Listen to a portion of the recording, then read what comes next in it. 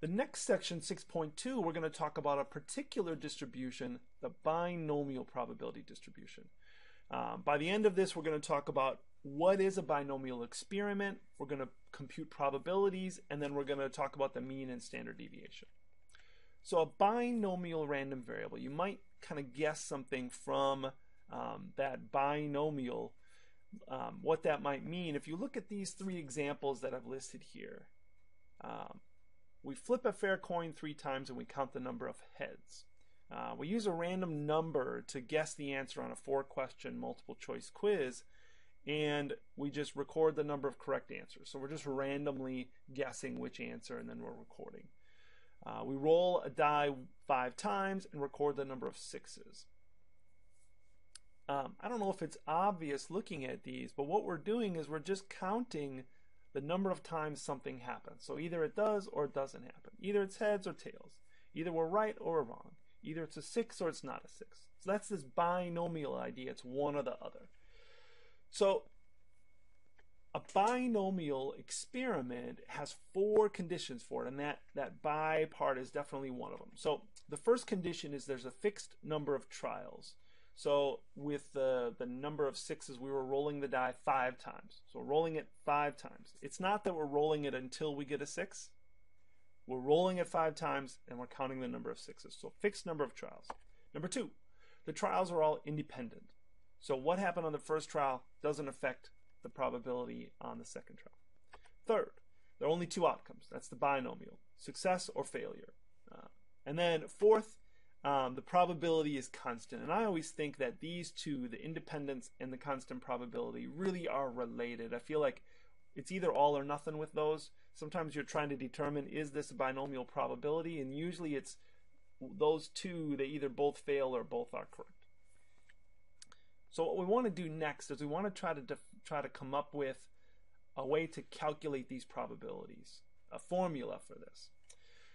So let's look at an example. Uh, suppose we have a random number and we're going to guess the answer on a four question multiple choice quiz uh, and record the number of correct answers. So if we look at each question, there's two possibilities. So for the first question, we could be right or wrong. Second question, we could be right or wrong. Third question, right or wrong. Fourth question, oh, we just did uh, ooh, four questions here. It looks like Oh, I'm looking at this here. It looks like we just did three questions and recorded the number of correct answers, right? So let's do a quick fix on that.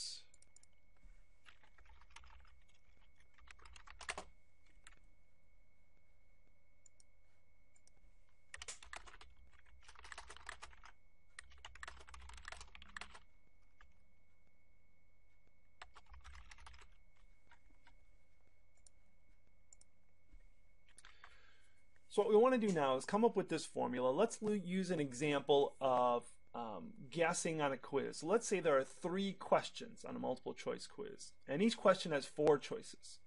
And what we're going to do is we're going to count the number of correct answers. So the first question could either be right or wrong. Second question after that could be right or wrong. So we could get the first question and the second question right, first question right, second question wrong, etc.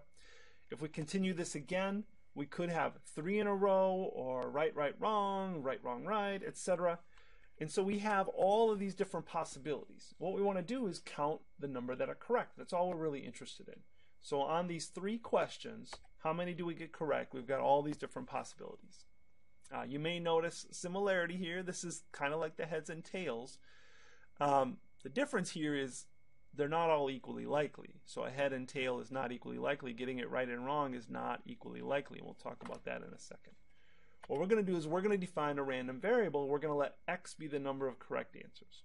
So what I want to look at is what's the probability that x could be 0, 1, 2, 3, or 4. And so let's look at 0. Now I have here that the probability is 3 fourths to the third. So 0 is down here. It's all three of them wrong. And the key here is that there, there's four choices for each question. So if there are four choices and we're randomly choosing one of them, three of them are going to be wrong. So the probability of getting it wrong is three fourths. And now we're just randomly answering the three questions. So those questions are all going to be independent, we can just multiply 3 fourths three times to get the probability that all three are wrong. So that's this probability here. The probability of getting one right would be, if we look at, uh, let's look at this line right here. The probability of getting the first one right would be one fourth. We've got four choices, four choices. So the probability of getting it right would be one out of four. And then the probability of getting this one wrong, three fourths and three fourths. But you'll notice I have an additional three in front here. That's because there's one, two, three possibilities for that. Similarly, uh, for two, two right would be, say we look at this example here for two, uh, the probability of getting these two here, three, four, or sorry, one fourth, one fourth, and then three fourths. And then there's one, two, three ways that could happen. Um, probability of getting three right, there's only one way for that to happen, and it's one fourth times one fourth times one fourth. Let's dive in a little bit deeper here on this case where the probability that we get one right. So I want to look at each component of this and understand what it's explaining here. So the one-fourth is the probability of getting one correct answer. So each question has four options, and so if we're randomly choosing it, the probability of getting it right would be one out of four. The three-fourths is incorrect, three-fourths, but then there are two, we got two of those that are incorrect. And then the three in the front is the number of ways that we can get one correct. It could be the first one, the second one, or the third one. So we come up with this general formula for binomial probability distribution. And there's three parts to it. Let's focus and kind of do them um, in order of kind of what makes sense, at least like what's the easiest thing to look at.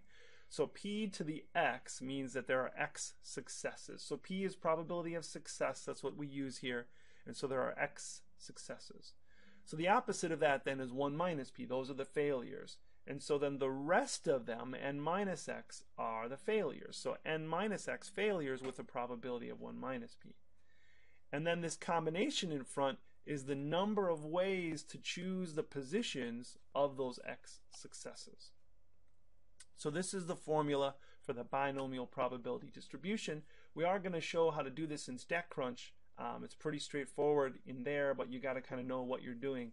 And so make sure to get a handle on this. I will give you this formula, but if all you know is the formula, um, that's not going to be that helpful once you get into the calculations. So let's do another one here. Different multiple choice question, similar to this. Now I have five questions. Each question has four choices again, and we're randomly choosing an answer what is the probability of getting four or five of the questions uh, correct? That'd be pretty tough here. We're just guessing. Uh, we're doing it randomly. And um, what would be the probability of getting four or five correct? So first task, we have to figure out what it is we're counting. Uh, so in this case, we're counting the number that are correct. Next, we need to talk about, well, how many total trials are there and what's the probability of success? So the total number of trials, well, we have five questions. So with five questions, the total number of trials is five. Uh, if we look at P, that's the probability of a success. So since there are four choices and we're just randomly guessing, the probability of a success would be one fourth. Now I want to know, okay, what is the probability that I get four or five correct? So probability of four or five correct would be um, the probability of 4 correct or the probability of 5 correct. And I've just put those in the formula here. And I did have StatCrunch up. Let me see if I can get it. There it is. There's my calculation there. So in StatCrunch, there's a calculator here that you can use. Uh, the binomial calculator right there. You can type in n is 5, probability of success 0.25. I want to find the probability that x is at least 4. Now you could do 4 and then 5 and add them together. Um, here I could just do greater than or equal to 4 and that'll add all those up. And so there's 0.0156 which there it is 0.0156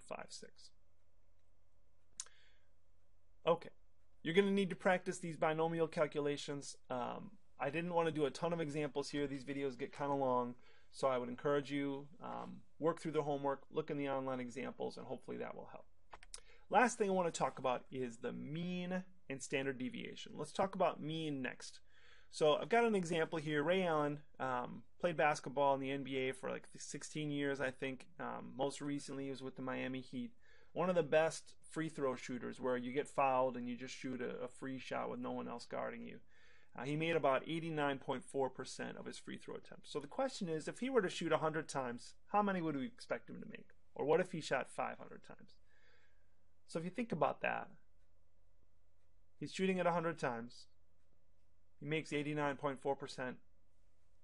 Wouldn't we just expect him to make about 89.4 of them? I mean, the same thing for 500. If he makes 89.4% of them, wouldn't we just multiply? Um, so that certainly is a very reasonable thing to do without thinking of a formula, but we could call that the mean of the binomial random variable. If he shot 100 free throws, he's not going to make 89.4 every time. Right? He's going to make 80 sometimes, have a really bad day, make 94 sometimes, or you know maybe 89 or 92. Or, but in the long run, if he repeated that 100 free throws, 100 free throws, 100 free throws, 100 free throws, if he always makes 89.4%, and if that's his long-term average, that's his probability, then we would expect in the long run that he would average 89.4. So the mean of a binomial random variable Simply take the number of trials times the probability of success. Pretty obvious. The standard deviation, there's a little more to this. I'm not going to talk about any theory here. Um, you're probably going to be asked that in the homework, have one or two questions about the standard deviation, but that's also not going to be an exam question. To me, it's not a particularly useful uh, formula to know. Uh, it doesn't occur very often, so we're going to focus on the mean of the binomial random variable. All right, so I think that is it. That is the last side slide for section 6.2. Don't be, uh, don't forget to look at the examples in the online lesson, the link below, and uh, come to class if you have any questions.